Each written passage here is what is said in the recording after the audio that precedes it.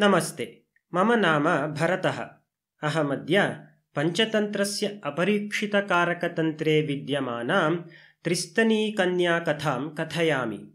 कथायाः परिचयश्लोकः एवमस्ति। अन्धकः कुब्जकश्चैव त्रिस्तनीराजकन्यका त्रयोऽप्यन्यायतः सिद्धाः सम्मुखे कर्मणि स्थिते।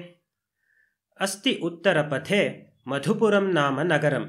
तत्र मधुसेनो नाम राजा बभूव।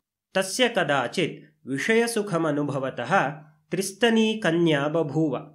तदा राजा कञ्चुकिनः प्रोवाच, भोः त्यज्यतामियं त्रिस्तनी गत्वा दूरेरण्ये यथा कश्चिन्न जानाति। कञ्चुकिनः प्रोचुः, महाराज, ज्ञायते यदनिष्टकारिणी त्रिस्तनी कन्या भवति, तथापि ब्राह्मणाः आहूय प्रोष्ठव्याः येन लोकद्वयं न विरुध्यते। यतः यः सततं परिपृच्छति शृणोति सन्धारयत्यनिशं तस्य दिवाकरकिरणैः नलिनीव विवर्धते बुद्धिः। तथा च पृच्छकेन सदा भाव्यं पुरुषेण विजानता राक्षसेन्द्रगृहीतोऽपि प्रश्नान्मुक्तो द्विजः पुरा राजा आह कथमेतत्? ते राक्षसगृहीतब्राह्मणकथां प्रोचुः। कस्मिंश्चित् वनप्रदेशे चण्डकर्मा नाम राक्षसः वसति स्म। एकदा सः वने भ्रमन् कञ्चित् ब्राह्मणं दृष्टवान्। तस्य स्कन्धम् आरुह्य सः उवाच भोः अग्रे गच्छ। भयान्वितः सः ब्राह्मणः तमादाय प्रस्थितः अथ तस्य कमलोदरकोमलौ पादौ दृष्ट्वा ब्राह्मणः राक्षसम् अपृच्छत्। भोः किमर्थं तव पादौ एवं विधौ कोमलौ? राक्षसः अवदत्। भोः मम किञ्चित् व्रतमस्ति। अहम् आर्द्रपादः भूमिं न स्पृशामि। तत् श्रुत्वा मोक्षोपायं चिन्तयन् ब्राह्मणः सरोवरम् एकं प्राप्तवान् ततः राक्षसः अवदत्। भोः यावदहं स्नानं देवार्चनं च कृत्वा आगच्छामि तावत्पर्यन्तं त्वया अत्रैव स्थातव्यम् अन्यत्र न गन्तव्यम्। यदा राक्षसः स्नानाय अगच्छत् तदा ब्राह्मणः चिन्तितवान्। पूजानन्तरम् एषः निश्चयेन मां भक्षयिष्यति। तद्द्रुततरं गच्छामि यावत् पादौ शुष्कौ न भवतः तावतेषः न चलति। अतः मम अनुसरणं न करोति। एवं विचिन्त्य ब्राह्मणः पलायनं कृतवान्। किन्तु राक्षसः व्रतभङ्गभयात् तस्य पृष्ठं न गतः। कञ्चुकिनः प्रोचुः अतो वयं ब्रूमः पृच्छकेन सदा भाव्यम् इति। अथ राजा द्विजानाहूय प्रोवाच भो ब्राह्मणाः त्रिस्तनी मे कन्या समुत्पन्ना। तत् किं तस्याः प्रतिविधानमस्ति। ते प्रोचुः। देव श्रूयताम्।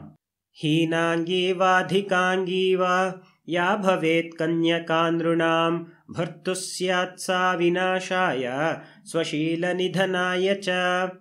या पुनस्त्रिस्तनी कन्या याति लोचनगोचरम्।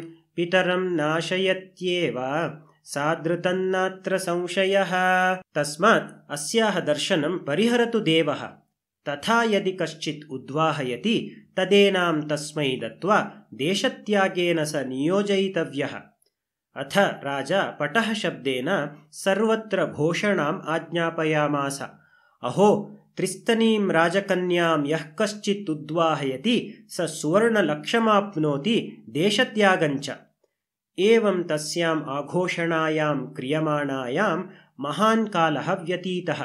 न कश्चित्तां प्रतिगृह्णाति। सापि यौवनोन्मुखी सञ्जाता सुगुप्तस्थानस्थिता यत्नेन रक्ष्यमाणा तिष्ठति। अथ तत्रैव नगरे कश्चित् अन्धः तिष्ठति। तस्य च मन्थरकनाम कुब्जः अग्रेसरो यष्टिग्राही ताभ्यां तं पटः शब्दम् आकर्ण्य मिथो मन्त्रितं स्पृश्यतेऽयं पटः। यदि कथमपि दैवात् कन्या लभ्यते सुवर्णप्राप्तिश्च भवति। तदा सुखेन कालो व्रजति। अथ यदि तस्याः दोषतः मृत्युर्भवति तदा दारिद्र्यक्लेशस्य पर्यन्तः भवति। उक्तञ्च लज्जास्नेहस्वरमधुरता बुद्धयो यौवनश्रीः कान्तासङ्गस्वजनममता दुःखः निर्विलासः धर्मशास्त्रं सुरगुरुमतिः शौचमाचारचिन्ता। पूर्णे सर्वे जठरपिठरे प्राणीनां सम्भवन्ति। एवमुक्त्वा अन्धेन गत्वा स पटहः स्पृष्टः। भोः अहं तां कन्याम् उद्वाहयामि यदि राजा मे प्रयच्छति ततस्तैः राजपुरुषैः गत्वा राज्ञे निवेदितम्। अथ राजादेशात् तैः रक्षापुरुषैः तं नदीतीरे नीत्वा सुवर्णलक्ष्येण समं विवाहविधिना त्रिस्तनीं तस्मै दत्त्वा जलयाने निधाय सपत्नीकः कुब्जकेन सह देशान्तरं प्रेषितः। विदेशमासाद्य त्रयोऽपि मूल्येन गृहं प्राप्ताः सुखेन कालं नयन्ति स्म केवलमन्धः पर्यङ्के सुप्तस्तिष्ठति। गृहव्यापारं मन्थरकः करोति। एवं गच्छता कालेन त्रिस्तन्याः कुब्जकेन सह विकृतिः समपद्यत। अथान्येद्युः त्रिस्तनी मन्थरकम् अब्रवीत्। भो सुभगा यद्येषः अन्धः कथञ्चित् व्यापाद्यते तदावयोः सुखेन कालो याति। तदन्विष्यतां कुत्रचिद्विषं येन अस्मै दत्त्वा सुखिनी भवामि। अन्यदा कुब्जकेन मृतः कृष्णसर्पः प्राप्तः। तं गृहीत्वा गृहमागत्य तामाह सुभगे लब्धोऽयं कृष्णसर्पः। तदेनं खण्डशः कृत्वा प्रभूतशुण्ठ्यादिभिः संस्कार्य अस्मै अन्धाय मत्स्यामिषमित्युक्त्वा प्रयच्छ येन द्राग्विनश्यति यतः अस्य मत्स्यमांसं सदा प्रियम् एवमुक्त्वा मन्थरको बहिर्गतः।